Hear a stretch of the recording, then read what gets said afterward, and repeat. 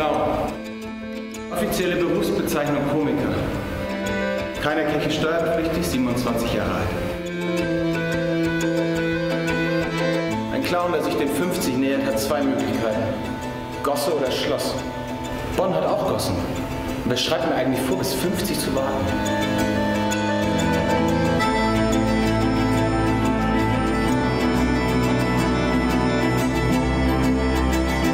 Ich nehme, was kommt und rechne mit der Gosse.